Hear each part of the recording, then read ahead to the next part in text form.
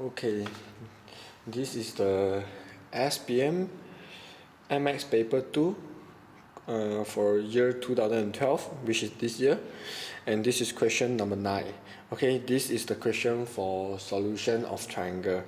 Okay so in this chapter before I start I just introduce two of the very important formula which is going to use those formula later okay.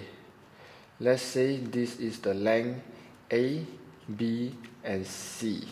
Okay? I call the angle on it uh, like opposite the C is a capital C. This is capital A and this is capital B. Okay? This is the angle inside. Okay. Let's say okay? Let's say you want to find uh, let's say you want to find the length C. Okay? He got a call uh, got a formula they call it cos rule which is c square will equal to okay this is c this is small c yes? the length c square will equal to a square which is a square plus b square minus 2 multiple a multiple b multiple cos c cos c which is capital c which is you you want to find this length you a square plus b square and then minus 2 multiple a multiple b multiple cos c angle. Okay?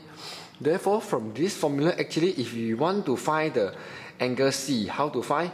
We rearrange the formula. I move the whole thing here and then i move the c over here. So it become 2 a b cos c will equal to a square plus b square minus c square and then if I want to calculate angle C so I just move 2AB on the bottom. So A square plus B square minus C square over 2AB okay? This is the very important formula here. Okay at the same time he got a very similar formula with this rule which is we call it okay to find the area of triangle. Or area of triangle. Okay. Actually they are very similar cos they also use like cos rule. Cos rule they they use one side two side and angle on between. This one area of triangle also same. He use one side two side one side two side angle in between. So it's half multiple a multiple b and then multiple angle in between. But then this one is sine c. Two side multiple angle in between. A b multiple angle in between. This one c square will equal to a square plus b square minus 2ab multiple angle in between. Okay? These two formula is very important to solve uh, in order to solve this question. Okay so we come back to the question. Okay. So in this question okay you will okay the diagram 9 show the sector POQ of a circle okay center O with the radius 16 cm mean this is radius this is radius this is 16 and this is 16 cm okay point R line on OP point R will lie on the straight line OP so it's given that OR and QR is 10 OR and QR this is 10 10 okay so in in this okay I just roughly draw out the triangle okay something look like this. Okay this is shaded region. This is R. This is P. This is Q. This is O. This is the angle they want to find. And then it's given the radius is 16 that means the length for here is 16 also. And then also he give us here is 10 here is 10 so we know here actually is 6 is 6 centimeter because this one is 16 16 okay? And then now we want to find what? So calculate the va values of angle in the radian. Mean he want to calculate he want to calculate the angle. So mean he want to calculate this angle in radian okay? And then correct to three decimal place. Okay? So therefore okay now we calculate this angle. Okay we got three sides so I just apply the formula which I mentioned just now which is this formula okay I just apply this formula into it. Okay so okay. So I cos call this one cos angle. Okay therefore cos angle will equal to okay two side is 16 square plus 10 square minus c square. Okay which is opposite one is 10 square divided by 2ab 2ab 16 and 10 okay which is the formula? If you are not uh, so sure about this formula you can go back to a reference book in the solution of triangle. I think this is something they call it cos rule. Okay so I just press a calculator to, to solve this one.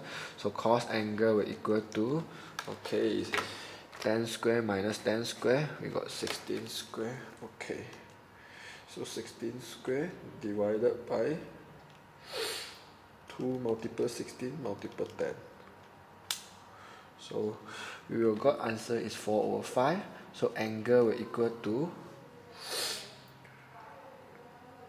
okay shift angle shift cos answer will equal to 36 over okay x 7 angle.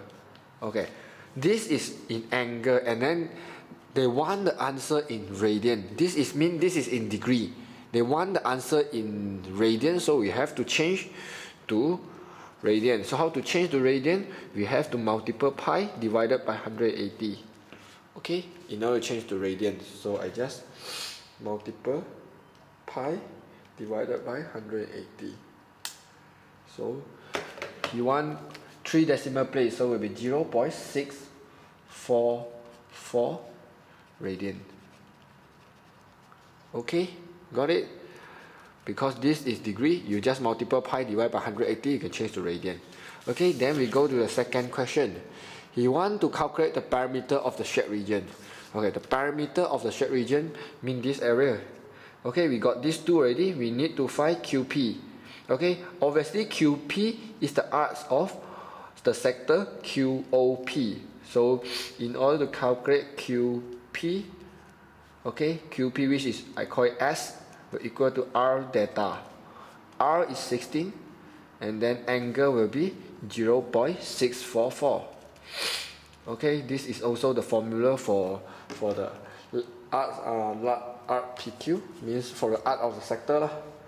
okay so it will be 16 multiple 0 0.644 okay and then I got 10.304 they use cm yes cm so therefore the parameter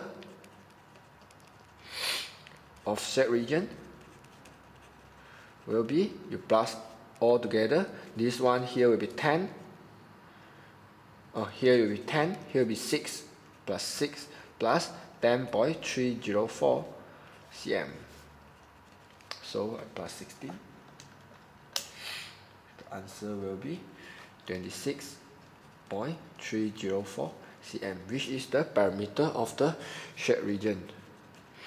Okay and then last but not least he asks you to calculate the area of the shaded region. So you want to calculate the area will be very simple. You have to calculate the area of the sector and then minus the area of the triangle. Okay area of the triangle which is what we learned just now is 1 over 2 AB sine C okay means we got okay we got AB sine C.